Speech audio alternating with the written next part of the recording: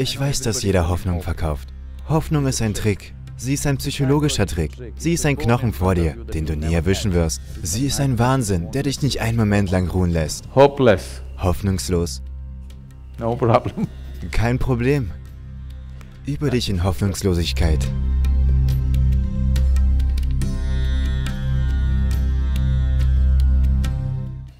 Namaskaram Sadhguru. Meine Frage ist, ist es in Ordnung, sich etwas hoffnungslos hinzugeben, auch wenn dein logischer Verstand dir sagt, nein, es wird nichts passieren? Ist es in Ordnung, sich etwas hoffnungslos hinzugeben? Wie du sagst, es ist eine sehr süße Sache, die einem widerfährt, wenn man hingebungsvoll ist. Wirklich hingebungsvoll. To something. Einer Sache hingeben. Chocolates, you're also? Pralinen? Bist du das auch? Vielleicht gegenüber etwas oder jemandem oder was auch immer. Okay, okay.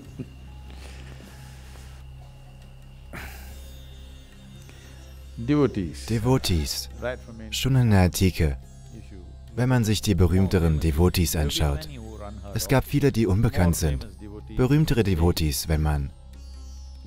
Man nehme Mirabai, man nehme and die Nyanmars und viele, viele bekannte Devotees von heute. Ob Akamahadevi oder viele von ihnen. Viele bekannte Devotees, die sich in der Geschichte einen Namen gemacht haben. Sogar solche, die nicht bekannt sind. Lass uns nicht über ihr Leben sprechen. Das ist etwas anderes. In ihrem Inneren waren sie in einem großartigen Bereich. Aber in ihrem Leben haben sie immer zu viel Ärger angezogen. Immer. Denn wie du sagst, hoffnungslos hingegeben. Das ist ein sehr, sehr schlechtes Wort, hoffnungslos hingegeben. Aber Hoffnungslosigkeit ist eine gute Sache. Ich weiß, dass jeder Hoffnung verkauft. Das ist ein psychologisches Spiel. Du kannst experiment. experimentieren. Ich spreche mit dir nicht über Hingabe, aber lass mich über Hoffnungslosigkeit sprechen. Jeden Tag. Wenn du eines Tages plötzlich das Gefühl hast, dass es hoffnungslos ist, wirst du vielleicht deprimiert sein. Einfach jeden Tag siehst du, dass es eigentlich hoffnungslos ist.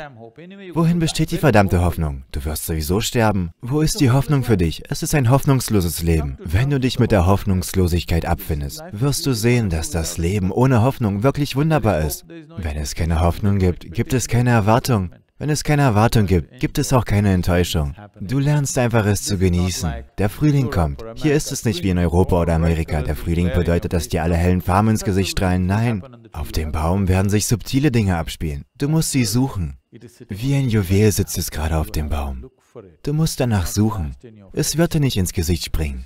Denn dies ist ein tropisches Klima. Es macht in dieser Art Dinge für dich. Du weißt praktisch nicht einmal, wann es von Winter auf Frühling gewechselt hat. Es ist nicht wie in einem kalten Land, wo es wirklich kalt ist und dann kommt das Sonnenlicht heraus. Dort sind die Veränderungen dramatisch. Hier ist es subtil. Du musst aufmerksam sein. Wenn du hoffnungslos bist, würdest du allem Aufmerksamkeit schenken. Die verdammte Hoffnung versetzt dich ständig in einen halluzinatorischen Zustand. Übe dich daher in Hoffnungslosigkeit und mach dir keine Gedanken über Hingabe. Finde dich mit der. Hoffnungslosigkeit ab. Hoffe nicht. Du schaust jetzt sehr enttäuscht. Praktiziere Hoffnungslosigkeit. Bewusste Hoffnungslosigkeit. Es ist wirklich hoffnungslos. Du wirst sehen, du wirst in deinem Leben an einem guten Platz stehen. Hoffnung ist ein Trick. Sie ist ein psychologischer Trick. Sie ist ein Knochen vor dir, den du nie erwischen wirst. Wenn du eine Halterung für einen Hund mit einem Knochen anbringst, wird er sein Leben lang laufen. So ist Hoffnung. Werde hoffnungslos. Wo ist die Hoffnung für dich? Glaube mir, das Beste, was dir passieren kann, ist das Isha-Krematorium. Sonst weiß ich nicht, wo du sterben wirst. Es gibt also keine Hoffnung. Glaubst du, du wirst davonkommen? Glaubst du, du wirst davonkommen? Nein. Deswegen keine Hoffnung. Finde dich mit deiner Hoffnungslosigkeit ab. Du wirst sehen, du wirst so schön werden. Diese verdammte Hoffnung macht dich so realitätsfremd. Alle möglichen Explosionen in deinem Kopf, die nichts mit der Realität zu tun haben. Wenn du hoffnungslos wirst, wirst du einfach tun, was du tun kannst. Was du tun kannst, wirst du tun. Was du nicht tun kannst, wirst du nicht tun. So sollte das Leben sein, nicht wahr? Was immer wir tun können, muss geschehen.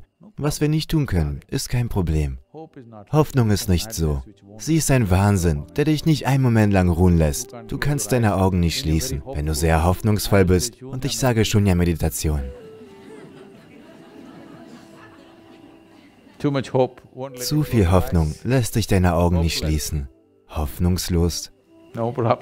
Kein Problem. Übe dich in Hoffnungslosigkeit. Mach dir keine Gedanken über Hingabe. Denn worüber du redest, ist keine Hingabe.